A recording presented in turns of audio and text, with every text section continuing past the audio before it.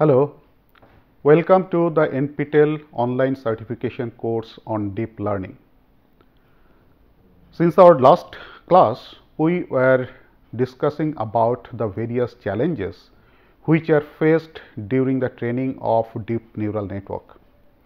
So, one of the challenge that uh, we are currently discussing is that how do you choose the appropriate learning rate or what will be the rate of learning or what will be the rate of convergence of the learning algorithm.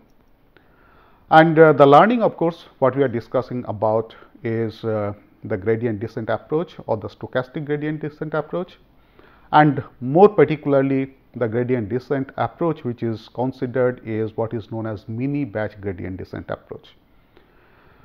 So, we are talking about this uh, uh, deciding about the appropriate learning rate, so that your uh, back propagation learning algorithm becomes more efficient. Uh, so, in the previous class we discussed about that what are the different challenges that you face in the gradient descent algorithm itself. So, when I talked about these challenges, one of the challenge of course, as we said that how do you decide about the learning rate or when you are updating the weights, weight vectors or the parameters of your classifier, what is the step size that has to be considered for updating the parameters. If the step size is very large, in that case there is a possibility that while updating the parameters, uh, the algorithm will uh, simply jump over the minimum error location or when the step size is very small, it will take large number of iterations to reach the minimum. So, that can be explained with the help of this particular diagram. Say if I assume that uh, initial weight vector say w 0 has been set somewhere over here, then you find that here the gradient if I follow the gradient descent approach then this weight vector or weight has to be modified or updated in this direction for reduction of the loss. Now, here if the updation step is very small then at the next point the weight will be somewhere over here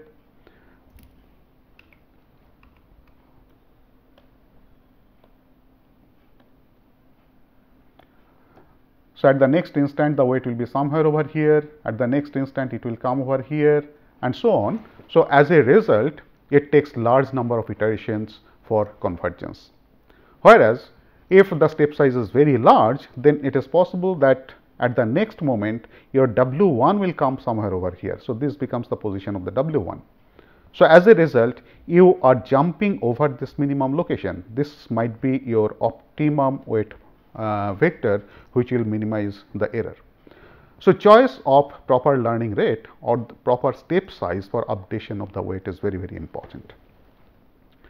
The second challenge in uh, this gradient descent approach that we have said is like this.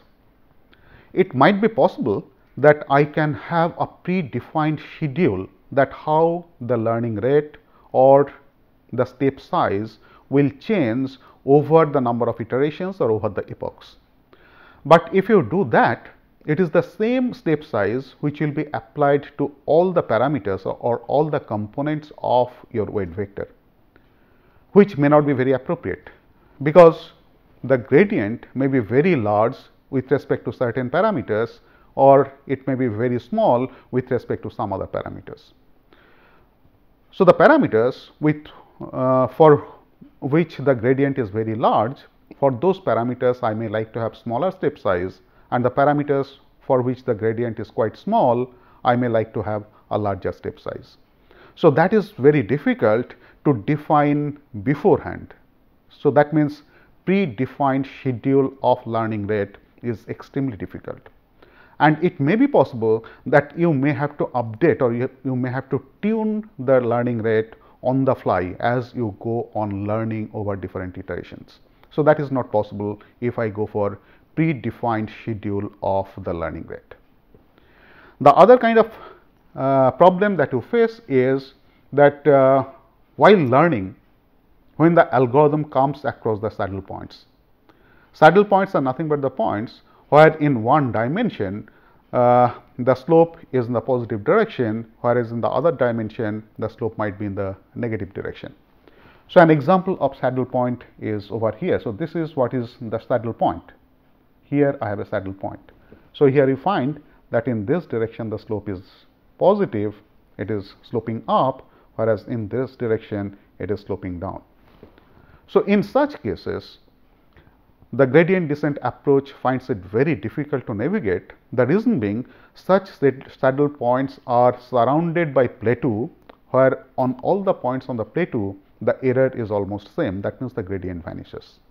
And as the gradient is almost 0 the algorithm does not learn anything. So, these are the different challenges that you face when you use uh, the gradient descent approach. So, for that what uh, uh, to overcome this problem what we have to think of the different approaches by which the gradient descent algorithm can be optimized further. Or in other words what we would like to have is an approach or the algorithms by which the gradient descent or the back propagation learning algorithm can be more efficient. So, one of the approach that can be used for making the gradient descent learning algorithm very efficient is momentum optimizer. So, today we are we will try to uh, see the different types of optimizers. One of them is momentum optimizer.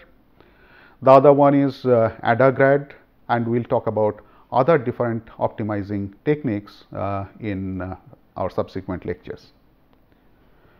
So, first let us see that what is this momentum optimizer. You find that uh, this gradient descent algorithm, I can have analogy of this with an example that I put a ball on a hilly terrain initially with an initial velocity of 0. So, it is something like this that suppose I put a ball over here, let me change the color. Okay. So, suppose I put a ball somewhere over here with an initial velocity which is 0 and this ball has got certain height and because of this it has got an initial potential energy and the potential energy is given by u is equal to m g h where obviously m is the mass of the ball, g is the acceleration due to gravity and h is the height of the ball. And there will be a force which will be acting on the ball which is negative of the gradient of the potential energy. That means, the force which acts on the ball is is equal to minus gradient of the potential energy which is u. And under influence of this force, the ball starts sliding along uh, this hilly terrain or along the surface. So, it moves like this and as it moves down this hilly terrain, it gains momentum. And subsequently the ball reaches this minimum point which is the plateau. And because it has a momentum, it will overshoot the plateau and will start moving in the other direction. And how much it will move in the other direction that depends upon how much is the momentum it has gained when it has reached the minimum point. And also what is the opposing friction or what is the uh, damping force acting on it. So, while going on on the other side it will come to rest at certain point of time and from there again it will start coming back to the minimum positions. So, it will perform a number of oscillations around the minimum position before it settles at the bottom of the surface.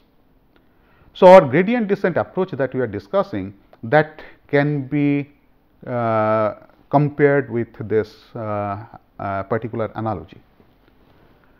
Okay, so, this algorithm works fine as long as my surface is an well behaved surface that is along every parameter in every direction the curvature or the slope of the surface is uh, almost same.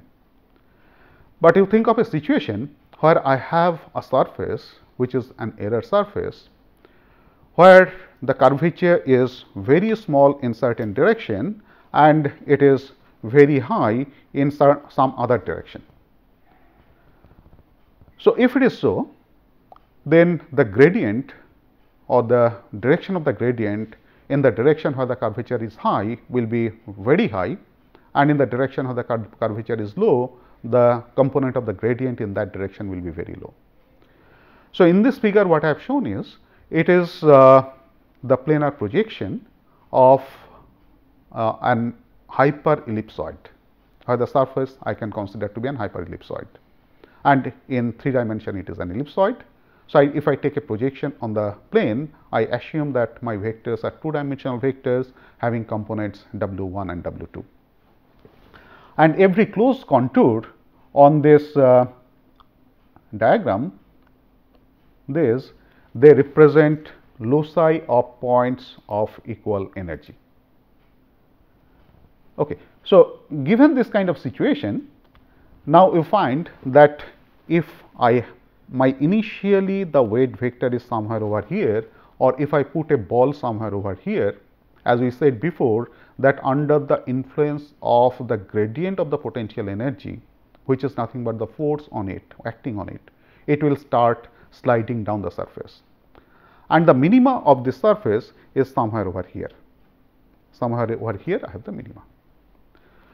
So, this gradient force which is acting on this will have two different components.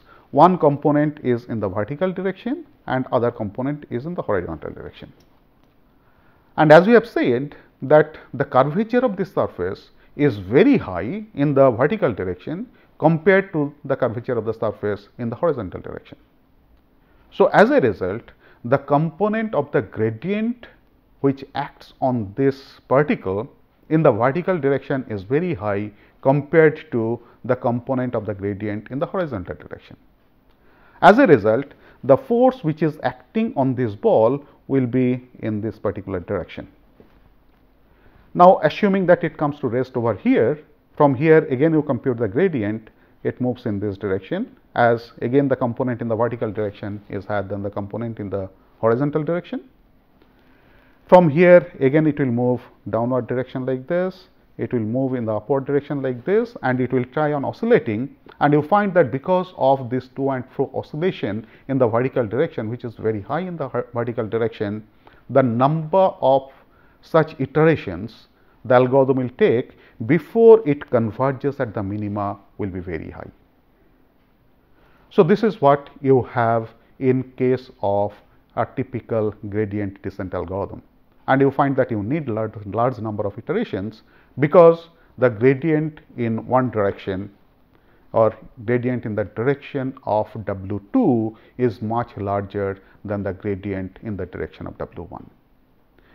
So, I can avoid this problem if I bring in a concept of momentum. So, the concept is something like this that again I assume the ball is over here, its gradient force acting on this. So, the ball comes somewhere over here. Now, at this location the gradient working on this ball may be in this direction, whereas if I also consider the component of the momentum that is the force due to momentum of the ball which is in this direction. So, if I consider both this gradient force as well as this momentum force to find out what will be the net force which is acting in this ball. So, the net force if I take it which is sum of these two forces the net force acting on the ball will be in this direction. And I assume that the ball will move in the direction of this resultant force. So, here you find that instead of you are updating the weight vector in this direction, you are updating the weight vector in this direction. So, as a result you are moving faster towards the minimum location and that is what is the effect of considering the momentum along with a gradient descent. So, what will be the impact of this in our algorithm? So, if you remember the gradient descent algorithm works like this that I want to find out the weight the parameter at time t plus 1 and this parameter at time t plus 1 is obtained from the parameter of the weight at time t minus gradient of the loss function where loss is a function of the parameter or the function of the weight vector w and this gradient has to be taken with respect to my parameter vector which is w. This is what is my normal stochastic gradient descent algorithm. And now what I do is in addition to this I want to add a momentum term right. So, I assume that at time instant t that is w t is somewhere over here. This is the location of w t and it comes to w t from location w t minus 1 and with a gradient vector which is v t minus 1. So, this was somewhere w t minus 1 from w t minus 1 it comes to location w t with a resultant force under the influence of a resultant force V t minus 1 which is acting on this. And at this location W t, I have two forces acting on it. One is the gradient force, which is this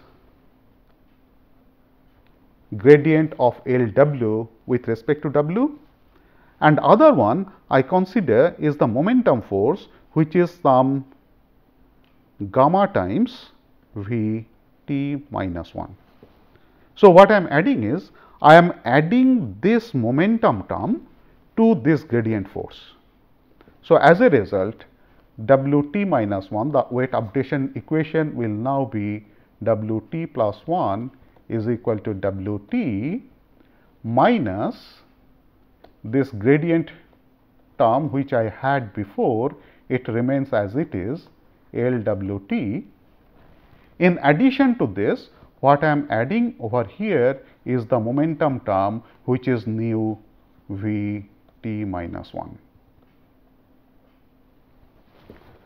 So, this is the momentum term and this is the gradient term.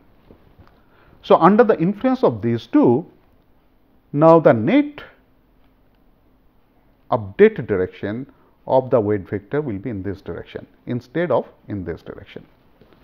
And that is how your gradient uh, descent approach with momentum improves the rate of convergence or makes uh, this uh, backpropagation learning more efficient.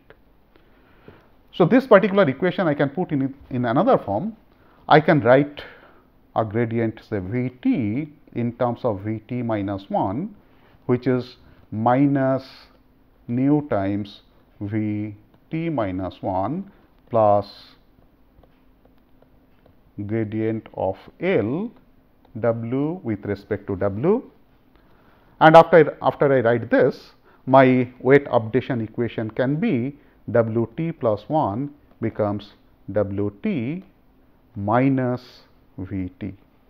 So, these two taken together becomes the gradient descent or the backpropagation learning algorithm considering the momentum effect. And as a result of this, you find that if I put the two figures side by side, on the left hand side, the weight updation sequence without SD, uh, uh, without the momentum term is shown over here. So, these are the weight updation sequences with momentum term, you find that the weight updation sequence will be something like this. So, when I consider this momentum term, the gradient descent algorithm or stochastic gradient descent algorithm becomes much more efficient. Now, there has been another modification on this momentum approach or the stochastic gradient descent with momentum that has been suggested which improves this uh, momentum optimizer to a certain extent. And that is what is nested Nesterov accelerated gradient approach or known as NAG. So, what is NAG? You find that in every case uh, with momentum what I am assuming is say my at time t, so I have Wt somewhere over here. I come to Wt with a momentum uh, with a previous force which is equal to Vt minus 1. And due to this, I have a momentum term which is nu times Vt minus 1. I have the gradient at this location which is delta L and under influence of these two the net displacement or the weight updation which will be done parameter updation will be given by the sum of these two vectors which is in this direction. Now, how this acceleration uh, can be done or the gradient can be accelerated is this if I know beforehand because I know what is my momentum and I assume that due to the effect of this momentum what will be my position after effect of this momentum that is where I am going to lead over here. And if I know that what is going to be my position because of the momentum effect in future, then instead of considering the gradient at this location, I can find out what will be the gradient at this particular location. So, if I can do that, then suppose I will have the gradient vector which is falling in this direction then I can have an update instead of this I can have update location update direction which is sum of this momentum term and the gradient computed at the future location. So, this is what is my look ahead gradient. I am computing the gradient beforehand. So, I call it a look ahead gradient.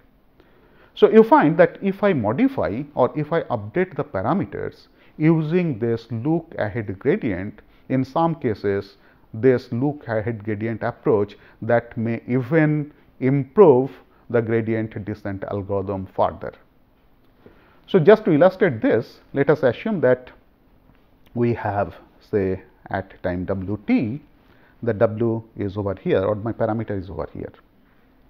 And I have come to this parameter following a v t which is given this. So, this was my or v t minus 1 which was in this direction.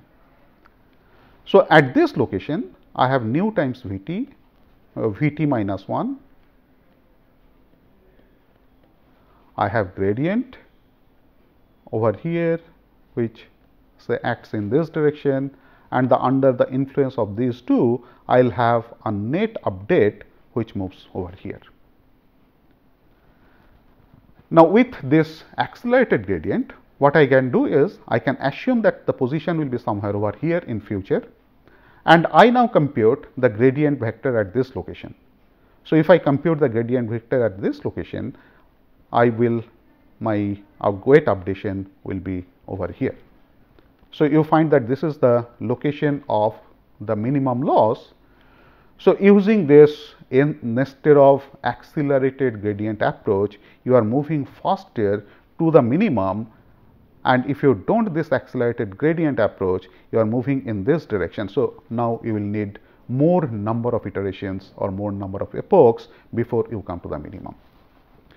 So, this NAG or Nesterov accelerated gradient helps in improving the gradient descent algorithm further.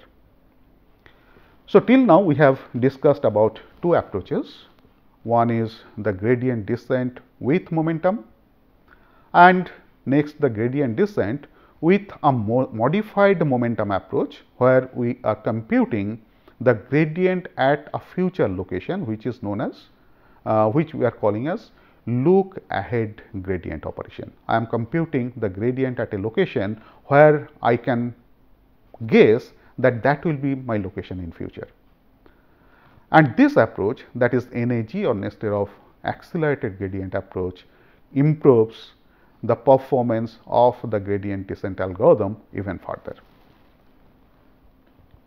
So, these are the two approaches that can be done. One is the momentum based gradient descent, other one is accelerated gradient descent. However, you find that uh, in both of these cases, I need a hyperparameter.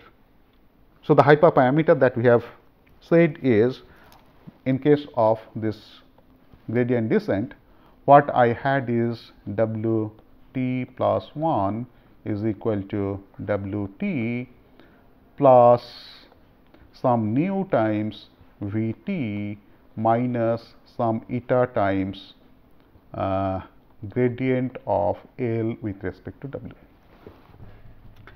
And this nu and eta, these are the hyperparameters which determines how fast I am going to move towards the minimum loss location and these are the hyperparameters. And in case of both this momentum optimizer as well as NAG or Nesterov accelerated gradient, I require these hyperparameters to be set manually, which is a difficult thing. And as these hyperparameters decide the learning rate, values of these hyperparameters are very, very important.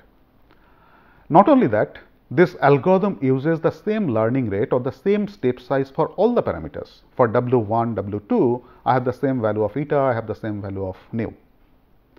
And as we have discussed before, that maybe, I mean, and that is what we have seen also that in the vertical direction, your gradient is much more than the gradient in the horizontal direction.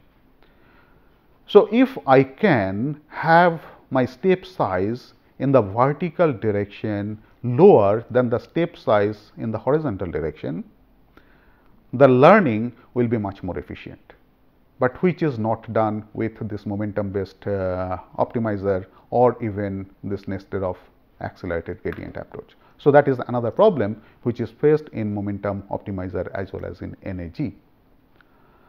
Uh, you also find that uh, the high dimensional and mostly non-convex nature of the loss function that may lead to different sensitivity on different dimensions. So, as a result, I may like to have different learning rate for different parameters, which is also not possible using this momentum based optimizer or NAG. So, I will stop here today.